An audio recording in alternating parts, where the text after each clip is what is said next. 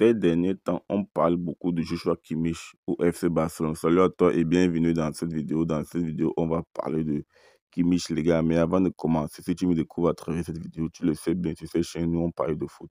Tu sais, chez nous, on est passionné de foot. Donc, si tu es intéressé par la thématique, si la thématique te parle, n'hésite pas à t'abonner et d'activer la cloche de notification pour ne rien manquer de prochaines vidéos. C'est on est parti. Alors, les gars, Joshua Kimmich aurait refusé de prolonger avec le bain. Du coup, donc, le FC Barcelone se positionne dessus pour remplacer Busquets. Vous savez que Busquets ne sera plus Barcelonais la saison prochaine. Il va quitter le FC Barcelone. Barcelone se projette donc sur son remplaçant, Joshua Kimmich.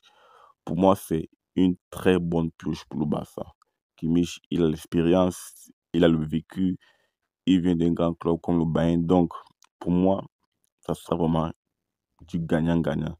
Parce que Kimmich, au Bayern de Munich, il a déjà tout gagné, il a fait le tout. Lorsque vous êtes dans cette entreprise et que vous avez tout fait dans l'entreprise là, franchement, vous n'êtes plus motivé. Vous n'êtes plus motivé. C'est la même chose avec Kimmich. Kimmich a déjà tout gagné avec Bayern. Donc, il n'est plus motivé. Il veut un autre challenge. C'est ça qui a poussé Lewandowski à quitter Bayern parce qu'il jugeait qu'au Bayern, il avait déjà tout gagné. Il voulait un autre challenge. On ne peut pas en vouloir à. Il veut juste un autre challenge. Au Bayern, il a déjà tout gagné, tout gagné. Il s'ennuie. Donc, Kimmich aurait choisi FC Barcelone, Barcelone avec Kimmich. Et franchement, c'est un deal que moi je trouve très très intéressant parce que Kimmich va beaucoup apporter au Barça, les gars. Beaucoup même. Beaucoup apporter au Barça. Pour moi, c'est une très bonne pioche. Si Barcelone a les moyens qui font venir Kimmich, ils doivent absolument tout faire pour faire venir Kimmich. Je pense que pour moi, ça sera le remplaçant idéal de Sergio Busquets. Pour moi, je trouve.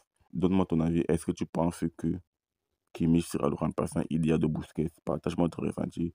Et si ce n'est pas encore fait, n'hésite pas à t'abonner d'activer la cloche de notification pour ne rien manquer des prochaines vidéos. se dit à très bientôt pour une autre vidéo. Ciao, ciao